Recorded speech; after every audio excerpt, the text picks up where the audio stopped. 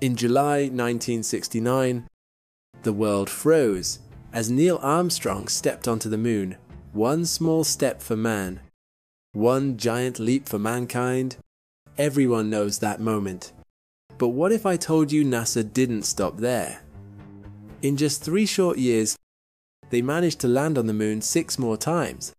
Six landings in three years, something so ambitious that today's Artemis program has already taken decades just to prepare for one return.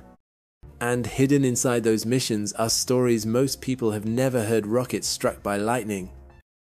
Near fatal mistakes, miraculous rescues, astronauts playing golf on lunar soil, and discoveries that rewrote the history of our solar system.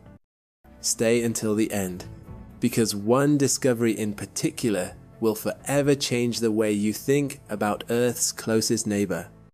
Just months after Apollo 11, NASA prepared for a bold return to the moon with Apollo 12. The mission's goal was clear to prove they could land precisely on target and push lunar exploration further. But from the very beginning, things went terribly wrong. The mighty Saturn V rocket roared into the sky straight into a thunderstorm just 36 seconds after liftoff, lightning struck the rocket, warning lights flashed across the cockpit. Guidance systems failed. Mission control lost contact. 16 seconds later, another bolt of lightning hit again. The spacecraft was blind, powerless, and racing upward at incredible speed. Disaster seemed certain until one quick thinking controller remembered a single command set SCE to AUX. The astronauts flipped the switch. Power returned, and the rocket came back to life, against all odds. Apollo 12 continued its journey to the moon. This time, NASA achieved what Apollo 11 could not a near pinpoint landing only 180 meters from the Surveyor 3 spacecraft, for the first time, the world was about to see the moon in full color through a brand new television camera. But only minutes into the broadcast, astronaut Alan Bean accidentally pointed the camera directly at the sun. The intense light instantly burned out the fragile tubes inside. The screen went black. The color images were gone forever. But Apollo 12 was far from over. The mission still carried secrets that would change how we saw the moon. Apollo 13 was supposed to be the third successful moon landing. But halfway to the moon, everything changed in an instant. An oxygen tank inside the service module suddenly exploded. The blast crippled the spacecraft, shutting down vital systems and leaving the crew fighting for survival. Houston, We've had a problem. Those words echoed across the world. Millions of people were glued to their televisions, watching the drama unfold in real time. Inside the spacecraft, the astronauts endured freezing temperatures, dwindling power, and limited oxygen. On Earth, NASA engineers raced against time, creating improvised solutions from the few materials available on board, from building makeshift carbon dioxide filters to recalculating flight paths by hand, every choice was critical. After four tense days, Apollo 13 swung around the moon and returned safely to Earth. The crew survived, but the mission changed everything. Apollo 13 showed the world that space travel was never routine. It was dangerous, unpredictable, and always close to disaster. Yet it also proved something more powerful human ingenuity and teamwork could turn near certain tragedy into a story of survival. After the near tragedy of Apollo 13, America needed a success to restore confidence. Apollo 14 was chosen to deliver that comeback, commanded by Alan Shepard, the first American in space. This mission carried both pressure and pride.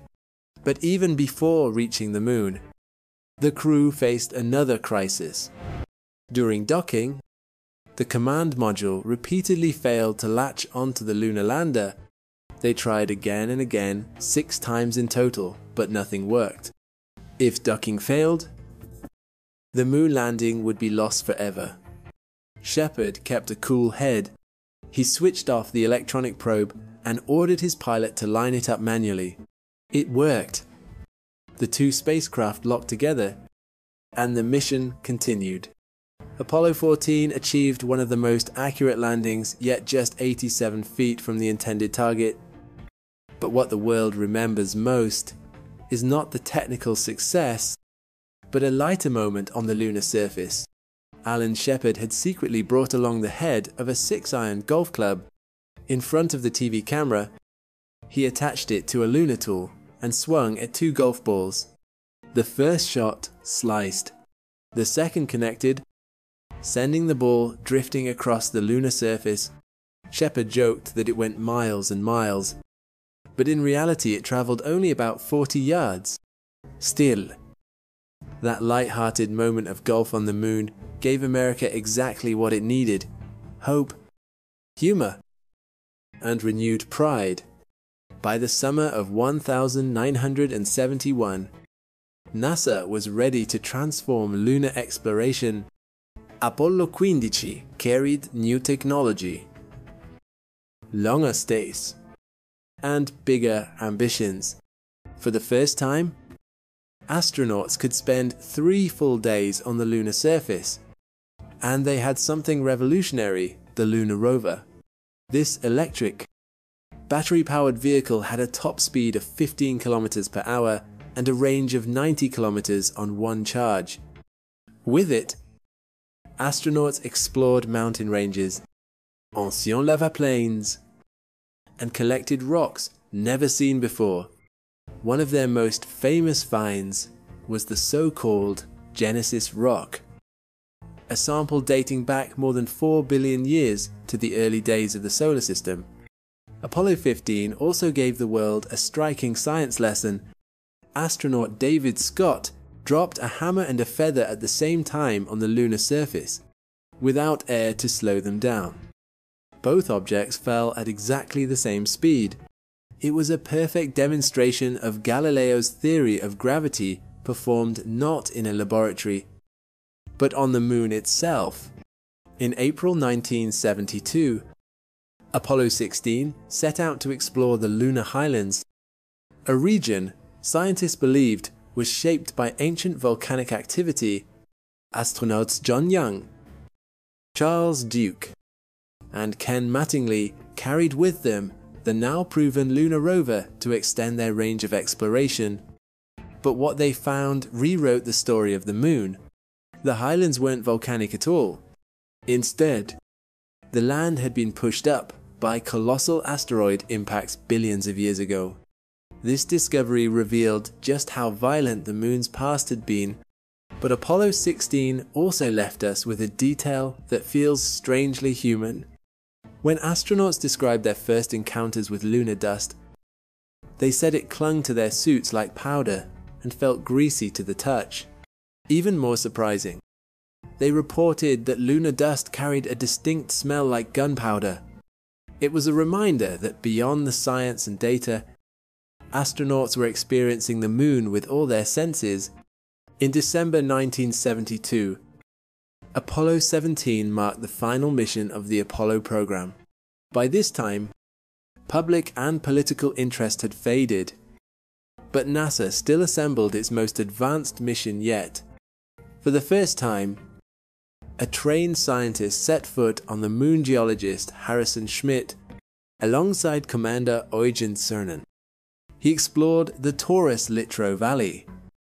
Surrounded by steep mountains and exposed ancient rock, over three days, they travelled more than 36 kilometers using the lunar rover, venturing farther from the landing site than ever before.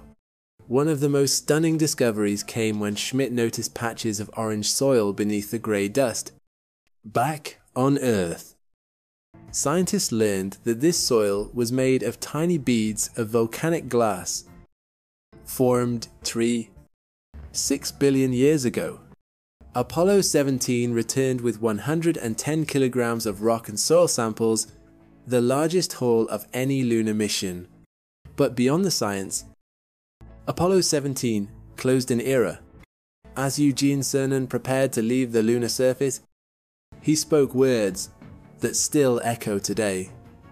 We leave as we came. And, God willing, as we shall return with peace and hope for all mankind.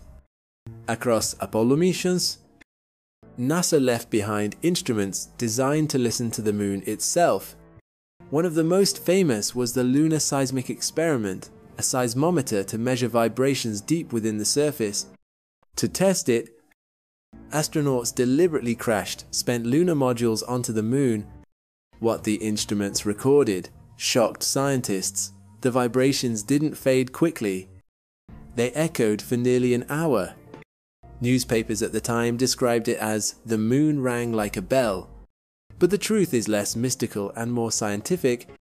Unlike Earth, the moon is dry, solid, and lacks water to absorb shock. So when struck, it vibrates for a long time like a tuning fork. This discovery gave scientists priceless insight into the moon's inner structure and it laid the foundation for future missions like Artemis, which continue to study the moon with advanced seismology from Apollo 12 to Apollo 17. These missions proved that the moon was far more than a silent, grey rock.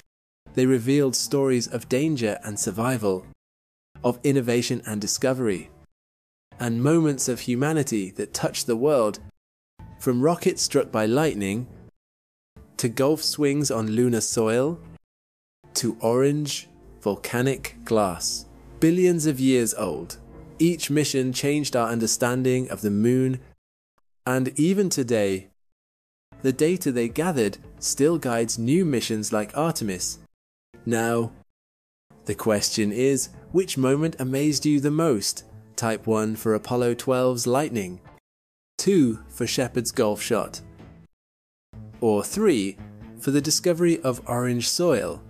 Don't forget to like this video, share it with others, and subscribe for more untold stories from space. The Apollo era may have ended, but humanity's journey to the moon is far from over.